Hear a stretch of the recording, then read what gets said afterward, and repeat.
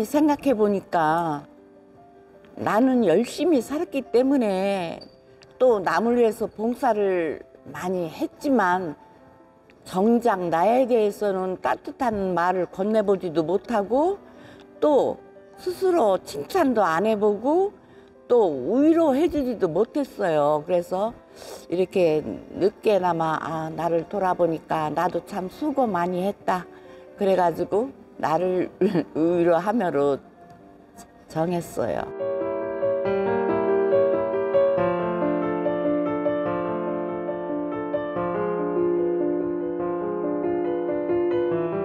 편하게 자연에서 이렇게 사람이나 이 자연이나 정물이나 이게 자연스럽게 표현하는 것이 좋고 개성개성 하나하나 사물 하나가 가지고 있는 그 색 자체를 표현하는 걸 너무 좋아해요. 그리고 또 가만히 들여다보면 아주 아름답거든요.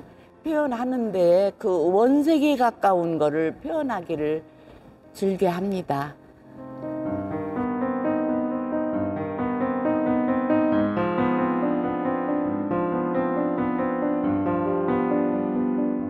어려서부터 우리 식구 얼굴을 이렇게 그려주기를 좋아했어요.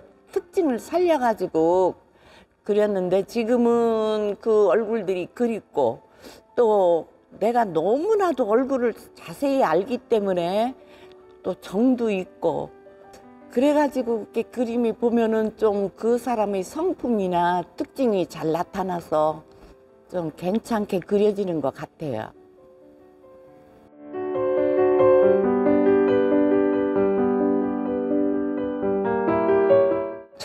처음부터 어릴 때도 소질이 있다고 그랬고 옛날 초등학교부터 내가 그림을 그리면 칭찬을 많이 받고 우리 할머니나 우리 엄마가 내 그림을 가지고 오면은 기다렸다 받아서 벽에다 붙여놓고 쭉 붙여진 내 그림이 좋았어요. 근데 지나면서 학교를 졸업하고 나서 그림을 그리고 싶었지만 이렇게 또 다른 교사의 길로 들어서니까 그림 찾기가 어렵고 또 생활을 하다 보니까 항상 뒤로 밀리고 근데 지금은 더 이상은 미룰 수가 없고 나는 그냥 그림 그리고 그리면서 살겠다 하고 겨울 준비라는 게 그런 의미를 가지고 그렇게 했어요.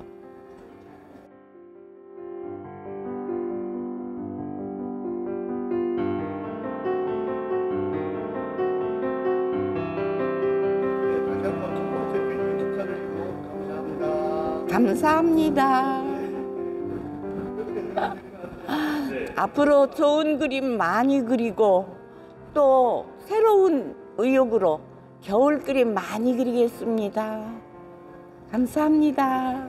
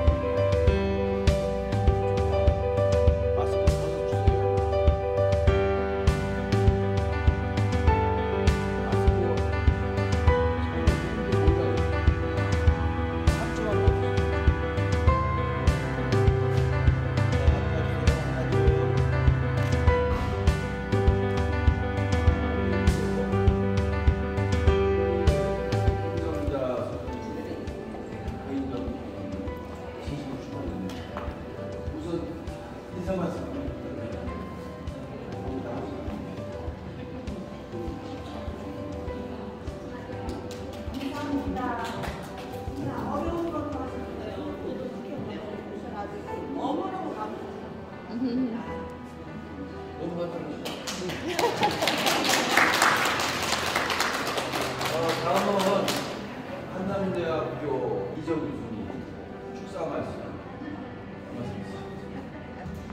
하면 일찍 와서 그림을 봤더니 마치 그림이 한 40대 초반의 사람이 작업했던 그런 분이더라고요 느낌이. 그래서 아마 나이를 거꾸로 드시지 않나 하는, 하는 생각이 들어요. 그리고 이 조물주가 모든 예술 중에서 숨 넘어갈 때까지 영유할 수 있는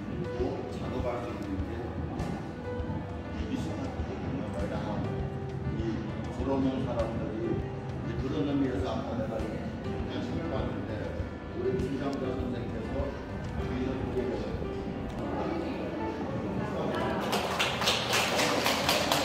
다음으로 이렇게 훌륭한 작품이 탄생하기까지 지도를 또 해주신 분이 계십니다. 박태영 수사님께서 명예의 말씀 간단하게. 안녕하십니까. 수영아 박태영입니다.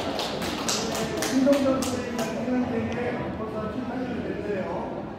꿈은 젊은이 만드는 것은 아니다. 꿈은 꾸는 사람의 목이다. 그럽니다.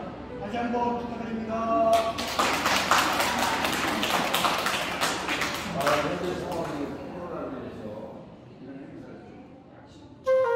아,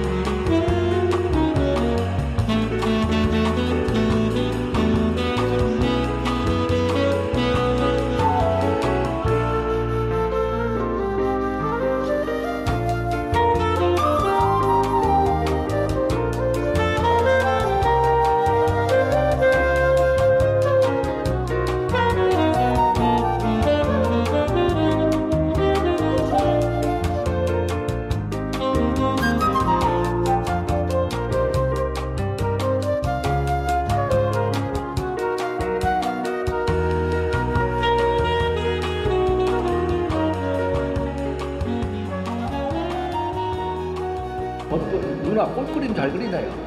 꽃? 네, 꽃 그림도 벚꽃도 그렇고 이쁘잖아. 글쎄 꽃이 화사하게 잘 그렸네. 난 정확하게 사진처럼 그리는 게 아니고 이렇게 막 날린 거 있잖아요.